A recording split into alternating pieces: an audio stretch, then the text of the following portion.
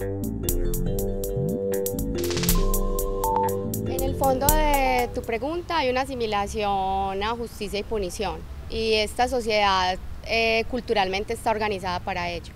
Eso lo podemos ver en las reacciones más espontáneas frente a los hurtos, como por ejemplo los linchamientos, y también en un sistema penal que tiene una escala de penas que reacciona frente a ciertos delitos, como por ejemplo los hurtos agravados y calificados, de una manera muy drástica.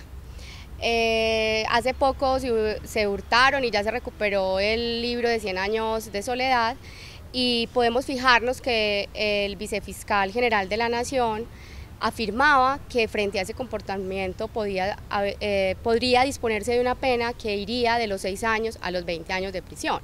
Bajo ciertas condiciones, los hurtos calificados y agravados pueden tener penas incluso superiores, que llegan hasta los 24 años. Esta pena es una pena superior a la mínima del homicidio simple que es cercana a los 18 años y mucho más superior frente a otros comportamientos eh, básicamente realizados por macro, la macro, macrocriminalidad económica organizada que tienen unas penas claramente inferiores.